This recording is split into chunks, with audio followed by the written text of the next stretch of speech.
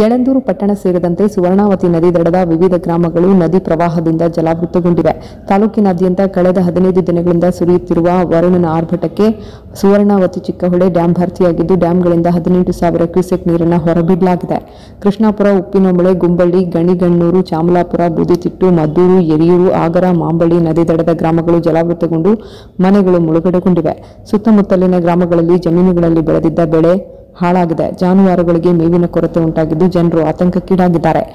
ಪಟ್ಟಣದ ಅರಣ್ಯ ಇಲಾಖೆ ನಾಡಮೇಗಲ ಮಾರಮ್ಮನ ದೇವಾಲಯ, ಪಟ್ಟಣದ ಮೊತ್ತದ ಕೇರಿ ಏಲಕೇರಿ, ಬಳೆಪೇಟೆ, ಚೆಸ್ಕಂ ಕಚೇರಿ, ಸಮಾಜ ಕಲ್ಯಾಣ ಇಲಾಖೆ ಕಚೇರಿ, ಪೊಲೀಸ್ ವಸತಿ ಗೃಹ ಜೆಎಸ್ಎಸ್ ವಿದ್ಯಾಸಂಸ್ಥೆ ಪದವಿ ಪೂರ್ವ ಕಾಲೇಜ್ ಸೇರಿದಂತೆ ವಿವಿಧ ಕಚೇರಿ ಶಾಲಾ ಕಾಲೇಜುಗಳು ಜಲಾವೃತಗೊಂಡಿವೆ. ಇದರಿಂದ ಕಚೇರಿಗಳಲ್ಲಿ ಕರ್ತವ್ಯ ನಿರ್ವಹಿಸಲು ಸಾಧ್ಯವಾಗದ ಪರಿಸ್ಥಿತಿ ನಡುವೆ ಶಾಲಾ ಕಾಲೇಜಿಗೆ ತಾಲೂಕಿನಾದ್ಯಂತ ರಜೆ ಘೋಷಣೆ ಮಾಡುವ ಮೂಲಕ ಪ್ರವಾಹದಿಂದ ಸುರಕ್ಷಿತವಾಗಿ ವಿದ್ಯಾರ್ಥಿಗಳಿಗೆ ಅನುಕೂಲ ಕಲ್ಪಿಸಲಾಗಿದ್ದು ಹಾಗೂ ತಾಲೂಕಿನ ಅತ್ಯಂತ ಜನಸಾಮಾನ್ಯರ ಜೀವನ ಸಹ ಅಸ್ತವ್ಯಸ್ತಗೊಂಡಿದೆ.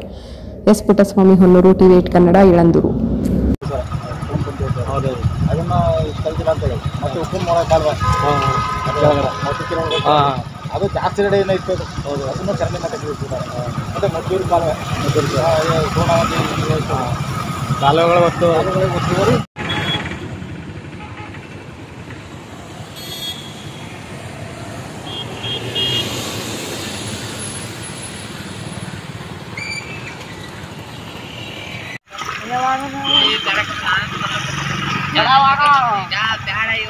ಏ ರಂಜಿತು ಬೇಡ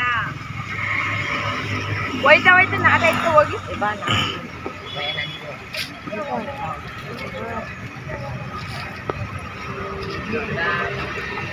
Baya! Baya!